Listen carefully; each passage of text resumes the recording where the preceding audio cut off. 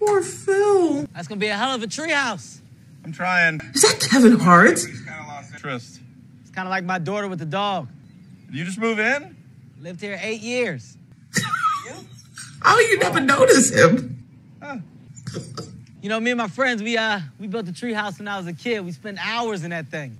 You need any help? Yes. A lot. Because I'm struggling. I don't want to bother you. Only thing bothering me is that drunken Amish roof you got up there.